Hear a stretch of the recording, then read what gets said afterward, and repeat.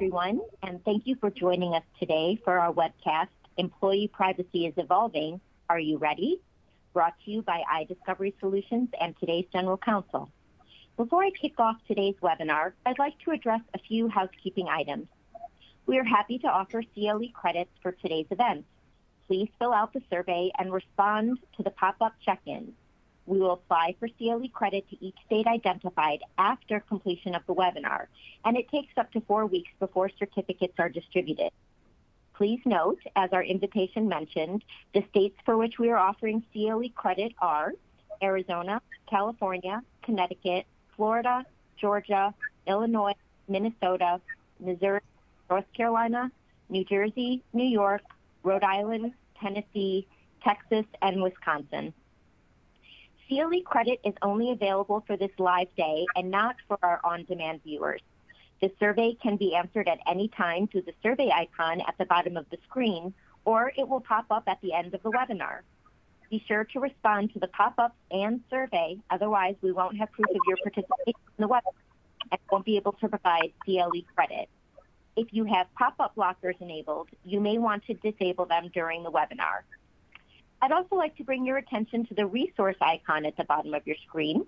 From here, you can download the deck and other subject matter content you may find of interest. We encourage you to use the Q&A feature, which will be monitored throughout the entire program. If you have questions about the subject matter, they will be answered during the presentation or the Q&A session at the end of the presentation. And if your question isn't addressed today, we will follow up with you after the event. If you have a technical or CLE-related question, you may also use the Q&A box, and we'll do our best to assist you. Lastly, please note this webinar is being recorded and will be available for on-demand viewing. And now, it is my pleasure to introduce the distinguished speakers for today's webinar, Willie Burden Jr., In-House Counsel of the International Brotherhood of Teamsters, Carrie Burke, Partner at Seyfarth Shaw, Hunter McMahon, Chief Operating Officer of iDiscovery Solutions. And now, Hunter, I will pass the mic to you. Thanks, Lainey, and thank you everybody for joining us today. Uh, we're going to be here for about the next hour talking about privacy and employees and how those two areas intersect as technology has really evolved over the course of time, more so in recent years. Uh, but before we get going, I want to give both Willie and Carrie a chance to introduce themselves a little bit more. Carrie? Sure. Thanks, Hunter, and thanks everyone for being here today. My name is Carrie Burke. I am a partner in Seyfarth Shaw's Atlanta, Georgia office. I practice primarily labor management relations, and I also litigate employment cases. And to the extent my clients are looking to buy a business, I help them out with the diligence process in advance of that. And Willie, sir. Yes, uh, hello everyone. Thanks for uh, letting me speak with you all today. Willie Burden, in-house counsel with the IBT. Uh, the, my profile includes uh, representing our Amazon division and our public service division, as also providing advice to our Department of uh, Political and Legislative Action. So, uh, looking forward to speaking with you all here today. Awesome. Thanks, Willie. And my name is Hunter McMahon. I'm the Chief Operating Officer at IDS, both a legal and technology background, but am fascinated about how this intersection of uh, technology, the ability to monitor uh, for performance and uh, monitor for different reasons, safety included, uh, has intersected with the world of privacy investigations and everything of the sort. So, with that, we wanted to take a quick poll at the beginning to understand the audience. And so that if everybody could go ahead and take a quick moment and click on this, you know, do you monitor your employees' activities? Pretty simple. Uh, I think a lot of companies, depending on your type of company, either monitor your employees a lot or very minimally. Uh, but we want to see how the audience is taking this. As Lainey said at the beginning, we want everybody to answer questions throughout. Uh, we'll do our best to answer them in real time. But if we don't get to it, we'll try to get to it at the end. So with that, I, votes are starting to come in. Carrie, what do you predict? I think we're going to see a combination of either B or C. I think there's probably some monitoring, and, and quite frankly, there's probably more monitoring than folks are aware of. Excellent. Willie, from your perspective, sir? Yeah, I would. I was going to go with the same B, perhaps C. I, I believe there's probably, as it is in most cases, uh, some of that happening without necessarily being intentional or maybe even aware that it's occurring. So. That, that's a big change in technology, right? It's not so much as somebody's sitting there writing something down on a piece of paper, but technology is working in the background. So let's, oh, I think we have a clear winner, B, but there's definitely some in the A category. We've got some that are using it to monitor performance. We have a good amount that say, I don't know. Uh, so for those that those members in the audience, the answer is probably you just don't know. Uh, and then we have some not not so much uh, not that level of monitoring, which is an affirmative. You know, we're not going to go there. So as we talk about today, and and we look at this, we're going to review some example laws and regulations and how this is coming about. We're going to talk about real world situations, and then we're going to end with a practical checklist because we want you all walking away from this webinar with a tool and an approach that you can take back to your respective entities. So with that, let's talk about how this has transformed. Why, why are we even talking about this?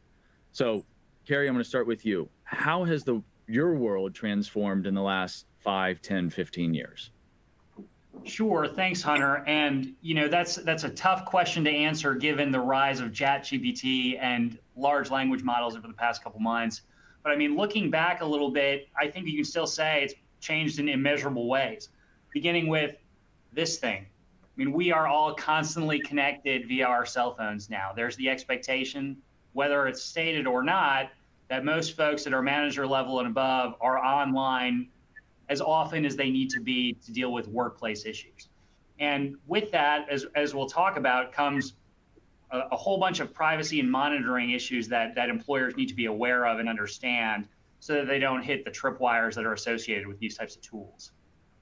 Because it's not, it can't be done. It's just how it's done. Correct. Let's let's start with that baseline. Yes, that's exactly right. It's it's not a you can't do this kind of thing. It's it's more along the lines of you need to one understand what you're doing so that you can put in guardrails to ensure that the only folks that need to look at this information and have access to it are doing those two things. Well, and, and, if we look at some of these examples, and then Willie, I want your perspective. You know, you used to send in mail or a, literally a physical letter. Now it's an email.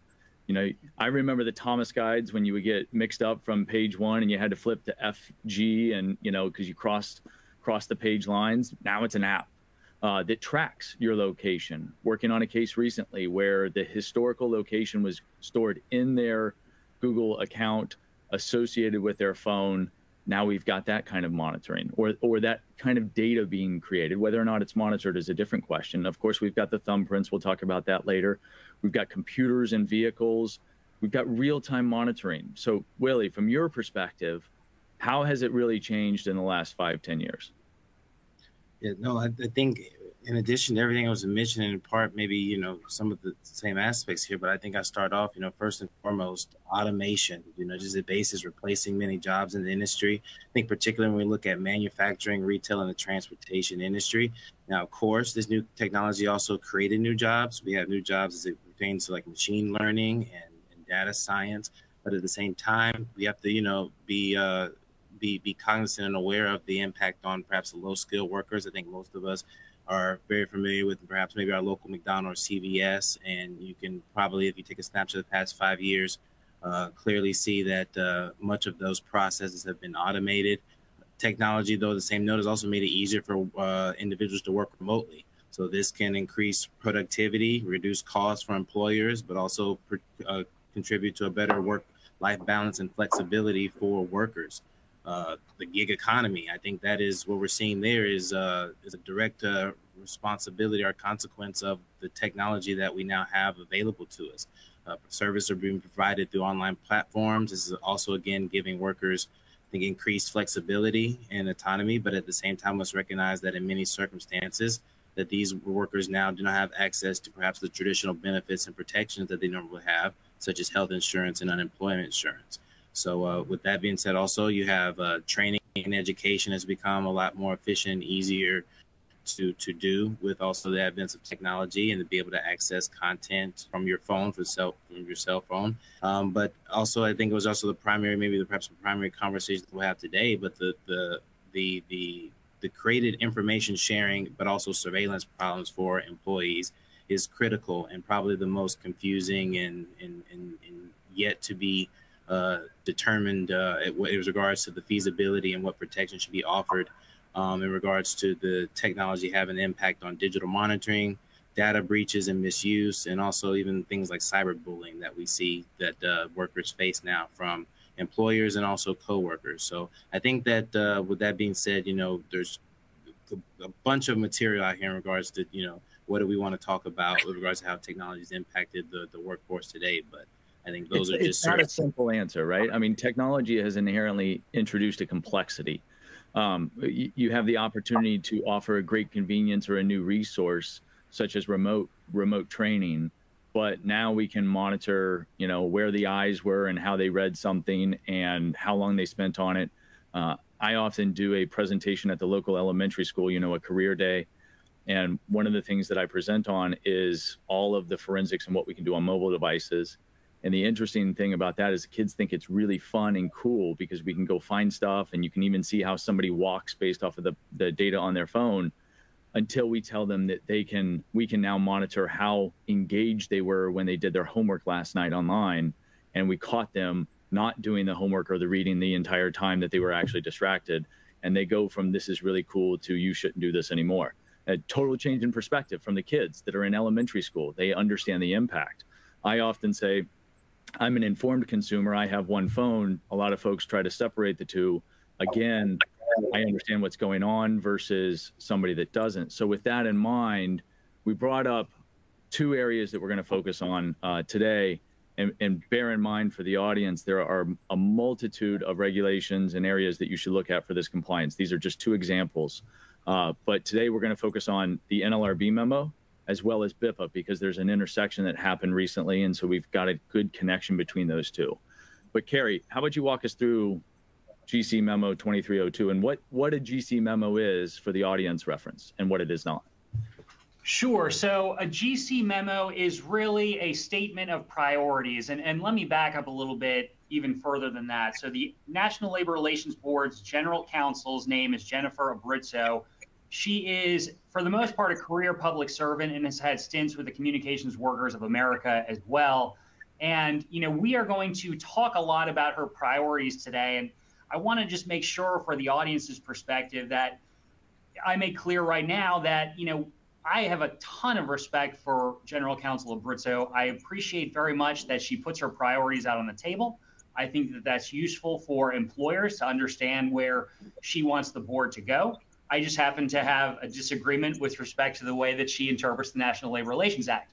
Now, that said, this General Counsel memo, as I said, is a statement of what I feel to be priorities what the general counsel is directing the regions that she's over to look into and to push when they're investigating cases. And so while this document is not law, it is aspirational to become law to the extent that it moves forward. Is that, is that a helpful starting point for us, Hunter? Perfect. So, for clarity, and just make sure everybody understands it from a different set of words, this is this is a guideline but not necessarily enforceable at this point. That's exactly right. That's exactly right. And and you know this general counsel memo, I think, initially blew a lot of employers' hair back um, because it does a lot of things or asks for a lot of things that we'll look into in a moment. You know, my initial impression of it, and, and I'm curious about what yours was, Willie, is that this is sort of one of those instances where it, there's a solution in search of a problem. And by that, I mean, historically, the National Labor Relations Board and its general counsel and its regions, in my mind, has not been afraid to map the National Labor Relations Act, which is a very old law, onto new technology. And I think that we see them doing that on a regular basis. Take as but one example the Facebook and social media cases from the mid 2010s. There was a whole line of case law about whether or not an employee who goes online and makes some statements about their wages and hours and benefits while also making some snide comments about their employer is engaged in protected concerted activity. And those cases, in large part, said that they were, which I think is in line with historical board decisions that consider what an employee, whether an employee is engaged in protected and concerted activity when they're making some snide comments to their manager in person while at the same time discussing wages, hours, and other terms and conditions of employment. And so to me, this seems sort of similar in that the General Counsel, through GC Memo 2302, is directing the regions to take a very hard look at what I think are generally typical employer monitoring tools. You know, the, the memo uses things, uh, turns of phrase like omnipresent surveillance.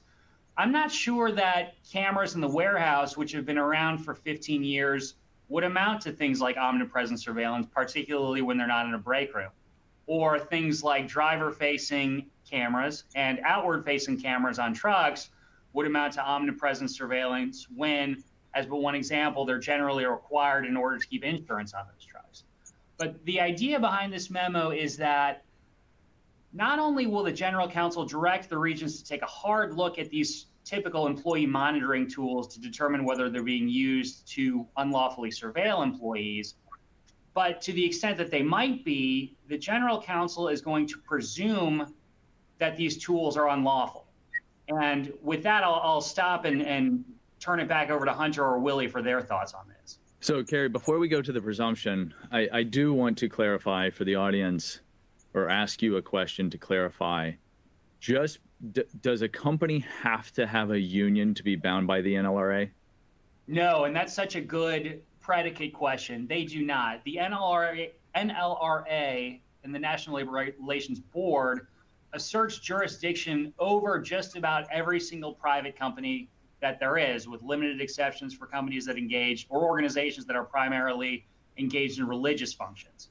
So this is not just a concern for employers with unionized workforces, it's really a broader concern for employers of all types in the private sector.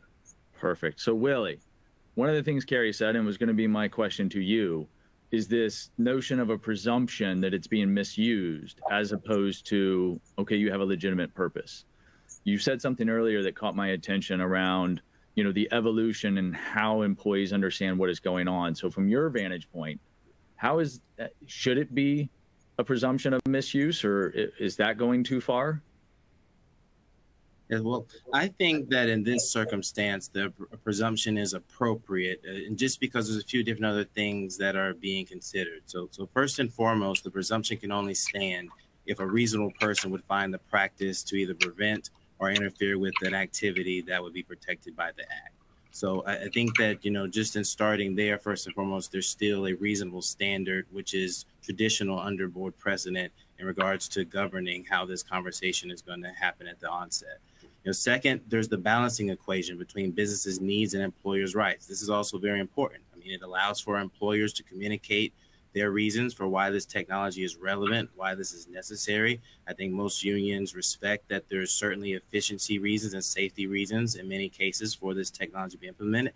But at the same time, we must have this in order to balance against employees' rights to engage in confidential dis- discussions um, and to consider their Section 7 activity, consider Section 7 activity, and also understand their rights. The third, and perhaps maybe most importantly, the presumption creates the mechanism whereby now, and this is also important in, in understanding the how this operates between the difference between employees that maybe unionizes versus those that don't. Unions typically have a collective bargaining agreement or other mechanism which they can combat pretext. But in this sense, for a worker that is ununionized, uh, the disclosure requirements of the certain uh, technologies being used uh, allows these individuals to at least rely on that and assist them in understanding how they're being monitored and how they're being managed. Now, I mean, in my opinion, this in many circumstances is a little consequence to employers to allow to uh, afford their employees information in regards to how they're being monitored and managed. Obviously, you know, unless there's another purpose there. Uh, but the presumption in this way ensures that any of the employers who fall under the NLRB's jurisdiction are communicating with their employees about productivity standards and about the information that's collected. And I think that this allows both employees and unions to do their jobs more effectively uh, and, and certainly without uh, feeling as much tension or, or maybe intimidation, whether it be intentional or not, as coming from the employer. So, at the risk of opening Pandora's box a little bit here, in, in the sense of having been involved in so many data d- investigations, wherein sometimes they didn't even, uh, the company didn't even appreciate the type of data that they were collecting. Um, they may have it, but they're not monitoring it. Is there a distinction you would draw between having data and actively monitoring that data, Willie? Mm-hmm. I think I think the I think the only distinction would be perhaps how, for example, in the union context, how the union would respond to it, and I think it really does come down to how the data is being used. Uh, most employees want to be aware, particularly I think, know, we're going to talk about a little bit later about biometric data. Most individuals, not just, I mean, all of us would like to know how our information is being collected and used if it's being collected uh, at, at, all. And now, you know, if it's being collected, but then also another and different conversation, or let's just say a part of that conversation is how is it being used? I think for workers, primarily, they're concerned with it used, being used for disciplinary purposes. So I think, you know, with employers, I think that's the reason why the disclosure is important because it's a much different conversation if we're talking having a conversation about protecting the workers' safety or dealing with some issue that in regards is going to help them do their job more effectively or efficiently versus perhaps using it uh, most particularly i think in the uh, unorganized context for workers that are unorganized uh, used as a tool to single out individuals that otherwise would be taking some sort of collective action so I think that's the nuance and the distinction that we have to draw. It, it certainly is a, you know, depends on a bunch of factors in any given situation. But I think those are some lines we can discuss. So, Carrie, you probably more from a management perspective and, and working with the corporate clients have had the experience where, okay, where do we start? So, with this memo out, understanding that you know it's not necessarily rule yet but more of a guideline and a direction of where things go and a question from the audience is perfect. How do we even start to approach this issue? Yeah i think that that's a great question and, and it doesn't have an easy answer right? And and in part that's because in my mind the memo is a little bit i think amorphous would be an appropriate turn of phrase there's a lot of discussion about review of an employer's quote unquote holistic surveillance practices. And what does that really mean? It's, it's hard to know based on the text of the memo itself and without the regions actually putting some complaints out on paper what this is actually focused on. As but one example, a lot of employers these days, particularly in the retail and warehousing spaces, have employees wear badges where they swipe when entering and exiting a door that's not new technology. I suppose it can potentially be used to quote unquote surveil an employee, but that's, I think, for among other reasons, security reasons. When you have products or materials that, that can be walked off the floor, it's important to know where your employees might have been when that product disappeared. Same thing for clocking in and clocking out. That's not new technology. Is that something that the regions and the general counsel are going to be taking a look at when considering the employer's holistic management or surveillance practices. Uh, at this stage, I just don't know, and, and we won't know until these move through the board's processes. But to get back to your original question, where do we start? I mean, I think step zero, as Willie alluded to, is understanding what technology you as an employer have in place, how it's used, and where that data is stored and in addition to that, who has access to that data? I think once you've answered those first four questions, then the next thing that you ought to be doing, in my mind, is ensuring that the business case for the use of that technology, the storage of that data, and the folks who have access to it all make sense and are aligned with this potential surveillance framework. So before we move on to the next example and diving into a real world scenario, there's a question from the audience. How does the NLRB exercise jurisdiction over non-unionized private facilities and the operations and employees? They are a privately held manufacturing company with some unionized employees, but have never had an inspection or enforcement action by the NLRB for non-union. Is that typical? the the notion that oh sorry go ahead willie do you want to take that uh, sure i mean I, so i think in that context the the the best answer is that just because those individuals on the shop floor uh, even in a even on a work setting where you have unionized and non-unionized workers those workers that are non-unionized still have section 7 rights and so they can still ask the board to come and do an investigation they still have the ability to file unfair labor practice charges now, typically that is uh, less common if particularly these individuals are also unaware of their rights. That's also, you know, I think a, a, a, problem that unions also at least see um, as regards to how the you know we're having these conversations around the current workforce.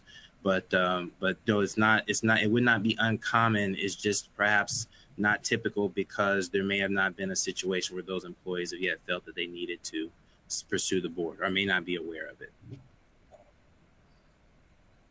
Anything to add, Carrie, before we move on? The, the only gloss I would add that I think is important is that it's not only employees that can file these charges, it's any person. And we see that in certain contexts. There are occasions where, uh, as one example, an organizer will go ahead and file a charge on behalf of employees. Sometimes law firms affiliated with organizers will file charges. And on the flip side, it's important to remember, too, that employers also have rights under the National Labor Relations Act and in certain instances file charges as well. So one of the things that uh, the GC said at the recent ABA conference that we were all in attendance at um, was one of her areas of focus for this would be drivers. Plain and simple. She came out, she said it, uh, and, and, you know, driver-facing cameras, all of the uh, data that's collected about drivers throughout the different uh, different technology. And so we wanted to illustrate that to everybody? Because if you're not familiar with the transportation industry you may say what what kind of data are they collecting? I mean there's a lot of data. There's everything from the gps the dash cams both outward facing and uh, driver facing. You've got different safety how hard you press the brakes how hard you press the gas. There's a lot of data that's coming from this technology and a lot of it is safety oriented. A lot of it is how do we protect both the driver the company and different things. Here it, it, they even illustrate on their website why. You know, we've got AI powered, that's new. We've got audio feedback, coaching, positive recognition. So it's not all just negative accountability, but you know, safety awards and bonuses and those kinds of things that can take place. Uh, but we had a real world situation recently where there was a board opinion on a driver involved uh, protected activity. And so we've got a quick summary. Uh, we've got the employer basic, you know, I'll summarize it and let Carrie and Willie, if you want to chime in. But a manager told an employee to uncover his driver-facing uh, camera from uh, during a break, and the employee felt like that was surveillance, uh, and the board side with the employee uh, that the impression of surveillance by accessing the inside-facing camera during his lunch break was problematic, and so Willie, I want to start with you because you brought it up and, and, understanding what the feeling of a reasonable person, I believe, is what you said earlier. How did you see this opinion? Yeah, so I think that first and foremost, we can start with some critical facts in this case that, you know, I believe is what uh, perhaps is what made this uh, unlawful um, impression that the person was being surveilled. So first and foremost, I think all employers should understand that. Um, I mean, like with anything, there's hardly ever a benefit of the doubt, whether right, wrong, or indifferent, when you're dealing with a company that has a history of anti-union animus.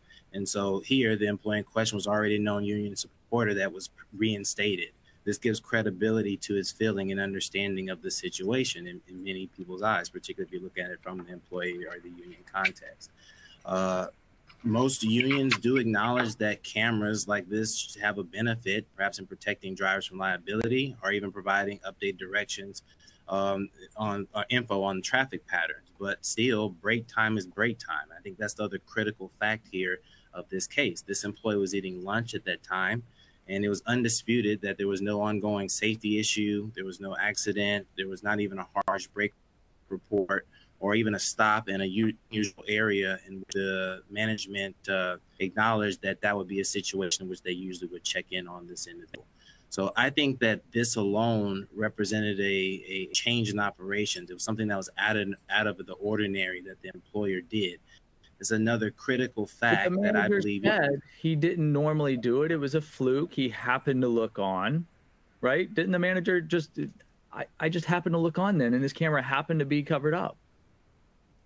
Yeah, and if, if it's, I don't think the violation happened, but looking on, but certainly then engaging in the conversation and telling the individual that he must uh, turn it back on. I think that that in itself, right there, is the impression because you have not done this before. So even if it was a mistake this time and it was something that was just done of accident, then perhaps, you know, it should have been communicated that way as opposed to trying to create a new rule on the fly.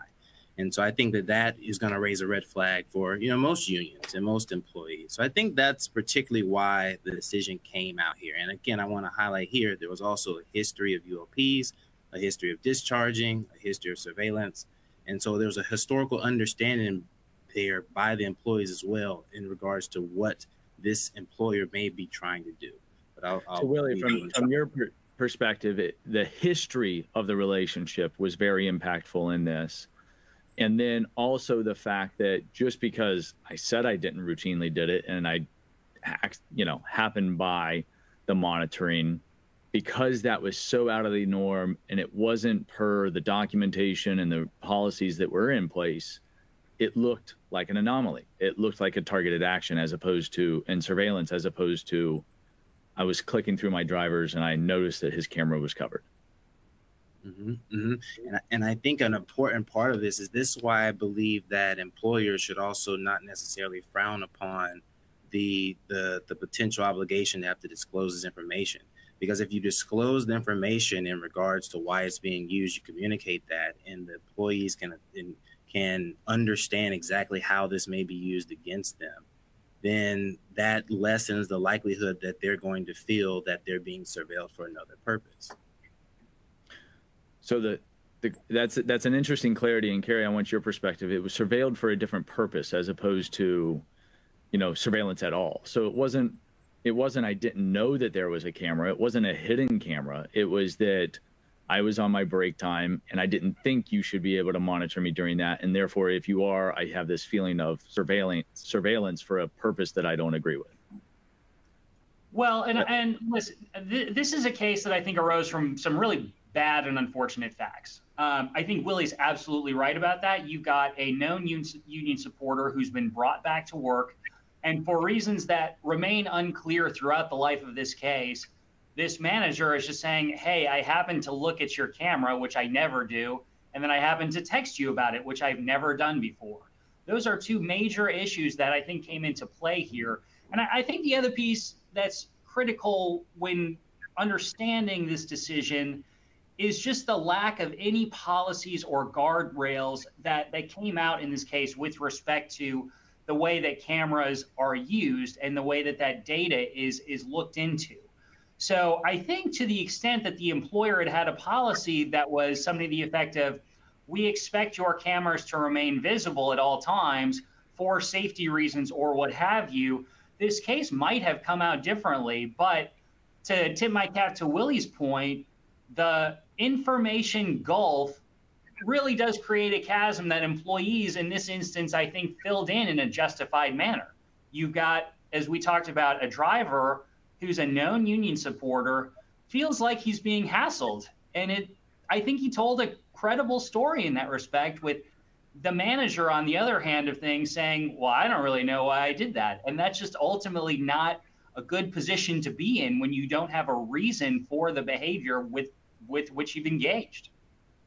So let's take this to a broader picture, right? You know, not everybody has a fleet of, of vehicles that they're monitoring drivers. You know, they, there's different types of monitoring that is going on. So, what from a, a, a computer based user are we talking about when when surveillance is under attack, right? So, what kind of monitoring is happening elsewhere that we need to kind of look at this analysis and go, okay, well, if if you don't routinely look at somebody's emails and all of a sudden you start reading their emails, that's that's kind of different. Uh, if all of a sudden you're not you're monitoring how productive they are on their keyboard during meetings or or something to that effect, with or without their notice. I mean, that's a that's a new one, right? You know, you've got all these great technologies that are monitoring productivity, but do they know that you're monitoring their productivity? And do you know how do they know how you're using them? So what other scenarios are you seeing Carrie? well i think you hit the nail on the head. In, in my mind the, the next big one is is email. Current extant board law allows employers to put limits on emails for purposes of organizing. That is a change from the obama board and we expect this national labor relations board to take that up in, a, in an appropriate case and most likely go back to a decision styled purple communications, which allowed employees, unless there was um, really a critical business reason to prohibit it, to allow them to engage in Section 7 activities via the company's email. And so, you know, that is just going to add an extra gloss in my mind on this whole idea of surveillance more broadly, because employers at this, once that goes into law to the extent that it does, and I think that it will, will have just another tripwire to look over when they're considering what sorts of emails are being blasted out. Along with that, I think that you're right. You know, the other one is going to be employer monitoring technology with respect to things like keystrokes or you know we had clients during the pandemic ask whether it was a good idea to require employees to be on camera all day long and you know for purposes of understanding whether they were being productive and and i don't know any lawyer that i've talked to that said yes that's a good idea go ahead and do it but uh, you know every once in a while we still get I, proposals like that one and so you know the, the the more technology arises the more it presents these opportunities for employers to trip up. But okay, so I'm a I'm a large tech company. We're highly remote, or or um, you know we have people in technology all day long. Inherently, they're collecting data because their systems are so integrated. You know, every time a user takes an action in a given system, they're creating an audit trail of activity. Mm-hmm. But they were doing that a long time ago. Is the distinction now the use of that data as opposed to the creation of that data? Yeah, I think that's exactly right. It's it's not only what is what is you keeping that data for and what are you looking into it for. So I think there's a difference between looking into as an example theft of trade secrets or violation of a restrictive covenant versus trying to reverse engineer whether one of your employees has reached out to as an example Willie's organization.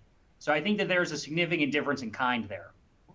So Willie, that brings you into the perspective from a a union side and thinking through I know there's technology there, but I don't know what they're doing. What is your perspective on, you know, a more tech-based company that is focused on optimizing their output or optimizing, you know, their the quality that is coming at. So there's there's a lot of technology that's behind it, but maybe the use case has changed over the years. I always had the data, but now I'm using it differently. I, I think that's correct. I'm, and I also want to reference, you know, a point that Carrie made earlier, which is so we are talking about how to use this technology in a proper manner, but I think also what the board is trying to address is in, in that that comment that Carrie is like, what is like a, a what is a omni surveillance? Like what does that mean to have you know just overreaching surveillance to the extent that an employee does not feel that they have any opportunity to take Section Seven rights? Well, that's the that is the other, I guess, way to frame the question or the matter. And so when we're talking about this technology, you know, just for example, yes, we may have our standard camera today. It may also have been standard keystrokes. Uh, the cell phone, maybe that's been standard for some time, but there may be tracking on the cell phone as well. There may have already been policies in place where, for different security reasons, we can access your lockers.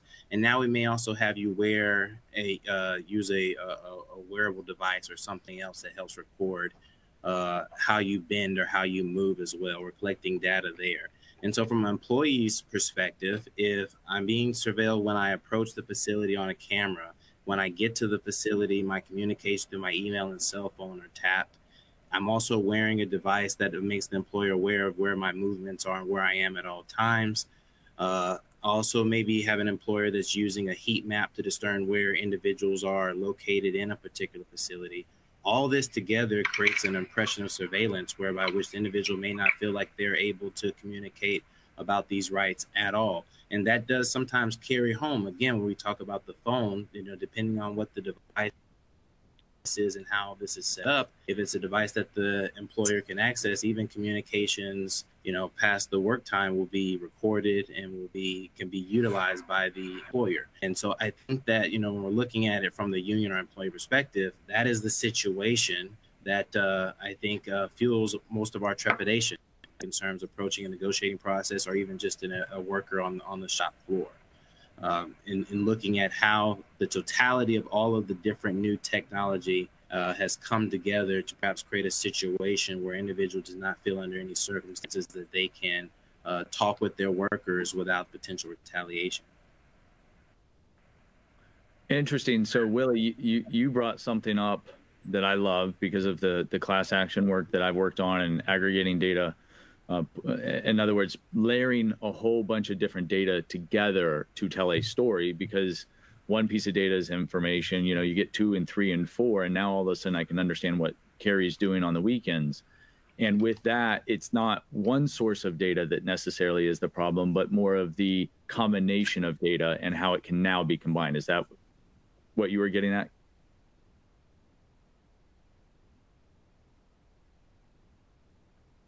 Willie, I think we lost you. Are you back? Yep, I think that's correct. I think that's correct, and I think that's the again. I think that's the purpose behind why, uh, at the least, this information. It is a good thing that this information actually uh, prevents an opportunity to limit liability as a result of disclosure, and I think that it also just informs employees and informs unions so that we can engage in effective bargaining. And so, yes, I, I would say that that'd be my answer. Yes. Perfect. We're getting a couple of specific questions. We appreciate those, but we're going to jump to the or leave some of those to the end for uh, clarity, uh, because I do want to jump into one piece of data that, in, in and of itself, can be problematic, and that is biometric information. For those of you not familiar with it, an Illinois statute that says you have to inform the person, you have to tell them the purpose, the length of time you're going to keep it, and you have to get written consent.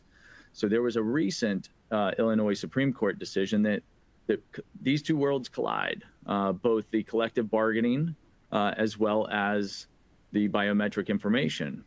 And, and the short of it there was they said, hey, you bargained for it, so that therefore was your written consent.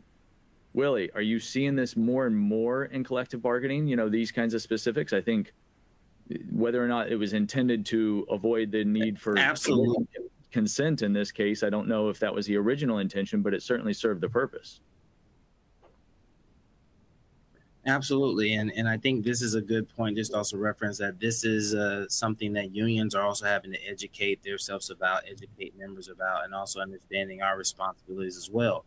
So for unions, anytime we're dealing with a state statute, which in most cases there's a carve out for a collective bargaining agreement or, or, some other type of agreement that was reached between a representative and the workers.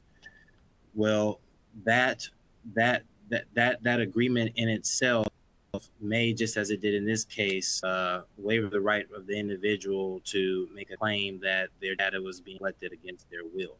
Now, for unions, again, this is a good thing in the sense that if unions are doing their job correctly, they would be making this individual aware of what is afforded for the company to do under, and in this case, the management's rights clause, which is probably and perhaps, I think, in most collective bargaining agreements that have not yet contemplated this technology, have not yet adopted specific provisions that concerns how to address technology or the uses of technology, which we do have some, particularly again around the wearable devices that we're seeing more and more become um, something that is, is, frequently put in, in a proposal. Um, but but nevertheless, in this case, and in any CBA where there's a broad management's rights clause, it is arguable that that right has been waived. Particularly, those management right clause includes some language akin to the employee being able to collect information. So, Willie, uh, a great question came in, uh, timely for you. Is does written consent for purposes of collective bargaining agreements mean each employee must provide a wet ink signature, or call the written consent, or can the written consent be collected electronically? Uh, it, it, actually would require no further consent upon the members if, again, they have already established the collective bargaining representative and that individual through the collective bargaining process has negotiated the right for the employer to be able to collect this data, as we saw in this case. Uh, again, it would probably be behoove most unions to make sure that all of their members understand this uh, and make sure that they have complete buy-in before they agree to terms or conditions that would do so. But uh, to answer the question, uh, no, in my opinion, it would not require uh, for each employee to then have to provide their signature, either uh, hard copy or electronically. Before I let you off the hook, Willie, interesting. You you talk about having to educate the members. How much of a hurdle is that right now with the speed in which technology is evolving? Yes, it's a, it's an immense task and something that you know unfortunately we're still not able to do in certain terms in, in many cases. Uh, a lot of times, again, without knowing the full purpose or whether or not we can rely on the purpose provided to us by the employer in regards to why that is being used, um, it just makes that conversation very difficult. And of course, as we mentioned, sometimes employers are not even aware. They may be working with a third party vendor, third party contractor that is providing a service that is collecting data and using it for a purpose, or maybe they're not even aware of the extent to which data is being collected maybe the union isn't aware as well either. And so then that leads to situation perhaps like this case where we end up with an individual who's grieved as a result of that data collection. So it's certainly not something that is just a, a, a problem from that perspective for employers. Unions too, you know, through their, their to make sure that we're abiding by, you know, our duty to fairly represent individuals and also just, you know, uh, reach effective agreements are still having to do a lot of work ourselves in regards to understanding how all of this stuff works and how we can communicate uh, that to our uh, members. So, Carrie, is it all about collective bargaining, or are there other mechanisms eh, required? You know, we talked about the NLRA governing non-unionized uh, employers as well. So, is that the only way to get this consent? Well, that's a really good question and and I won't hold myself out as a BIPA expert, uh, but as and, one of the questions, let's go wider though, right? BIPA was an example. I mean, collectively about surveillance technology, right, or other employee monitoring. How else do you get that consent? Well, so I mean, I think that, that that's a really interesting question. In in the non-unionized workspace, oftentimes I don't think that the employer explicitly needs the consent in order to put in technology that that is at the forefront. And oftentimes, even in the unionized context, it, the employer might not need to get the consent of the union to implement technology either. You might end up having to bargain over the effects of a new technology, but to the extent, as Willie alluded to, that something might be encompassed by a management rights clause, you know, the CBA will govern and the employer can implement that technology okay, so I can implement it. Do I have to tell my employees what I'm doing differently now? Well, I think that it's generally a best practice to onboard your employees with new technology and do some training around it when it comes in to the extent that they need to know about it. Oftentimes, you've got to balance the rollout of new technology and the way that it's used against things like trade secret concerns or corporate espionage concerns. You know, I wish that it wasn't the case, but in the 21st century world that we live in, and as we've alluded to previously, the fact that half of what we do is on our phone now, employers do have to build in some guardrails and be careful about making, I'll call them fulsome disclosures about exactly what technology they're using and how it exactly works to the rank and file employees. Okay, but I, I I've got a company owned device I tell them that they have no right to privacy. Do I have a right to monitor however I want on that device? Oh, or of course is, not. And that, that would be terrible advice. But, it, I but, mean, it, but it's hmm. my device. It's my technology. They're they're working for me, and I'm paying. Why can't I do what I want on the computer? Well, setting aside all of the issues that we've just talked about and the surveillance problems that would arise under the National Labor Relations Act in a unionized or non-unionized workspace, I think a whole bunch of other considerations would come into play. As but one example, if an employee is engaged in protected activity under one of the myriad other federal and state statutes by using their phone, and you as an employer are monitoring them, that can implicate you in Title VII concerns. And I told them that they have no right to privacy on the company devices. Yes, and so I guess the the the logical next step there is to the extent that you are collecting, reviewing, and I'll use the word surveilling this data, and you've got to make a performance decision with respect to an employee, that is absolutely going to come out in a legal proceeding, full stop. And so, even if you as an employer had a good and defensible reason for exiting an employee, the fact that you have looked into all of this stuff that they've done, and if protected action under either the National Labor Relations Act or another statute comes out, you are going to have a very hard time resolving that case in your favor. So it so now we're back to that the, the driver uh, opinion that we talked about earlier, right, with the covered camera. Part of what Willie outlined there was a bad set of facts or, or, or an unfortunate set of facts that led to that incident. What you're saying is if you're going to have all this technology and you're going to go through all of that monitoring, you better have an ironclad defense as to how it's being used and how it was not used inappropriately for discharge, regardless of validity of the discharge itself, because you got a lot of data and they don't know you're doing it. So you're you're almost creating your own presumption against yourself. That, that's exactly right. And let's be honest too about this. Managers are wildly busy. They have to run the business. They do not have the time to and should not be expected to monitor their employees off the clock. And if they're being asked to do that, that is one, a significant liability for the employer, but two, a waste of the employer and that manager's time. You mean I can't hire managers just just to manage the managers to make sure that they're managing their employees to make sure that everybody's reviewing all the data? I mean, it's it's your money and your company. You can do what you want. fair enough. Fair enough.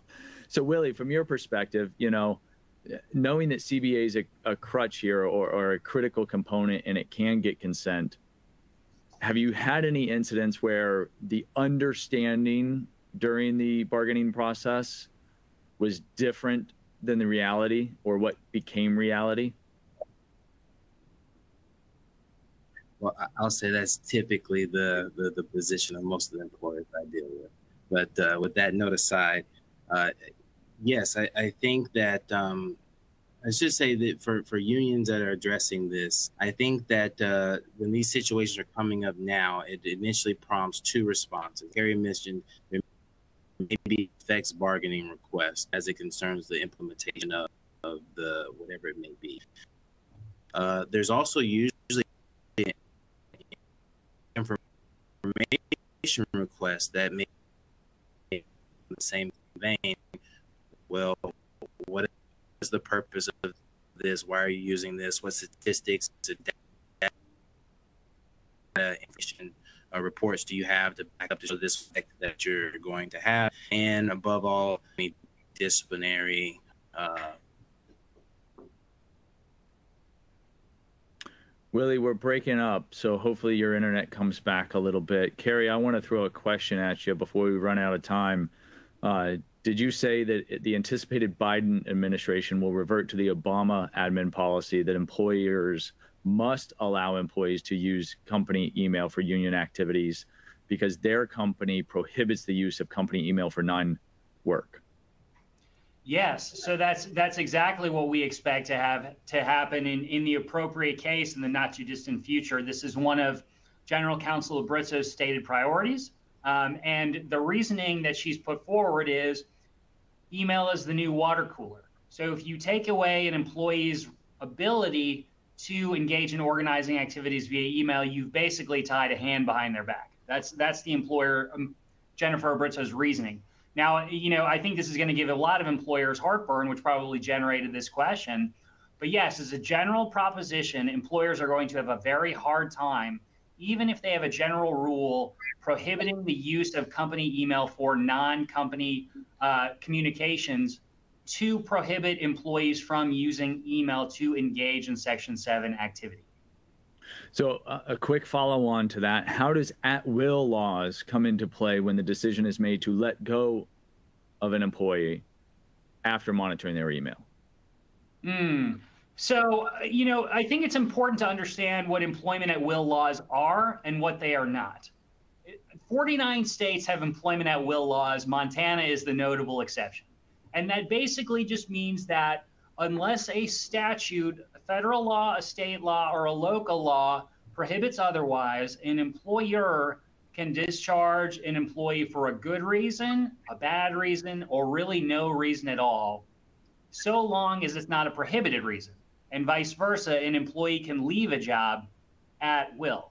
So, you know, in this space, the National Labor Relations Act is going to trump this notion of at will because is it a it is excuse me a federal statute that is protecting employees' rights to engage in protected concerted activity.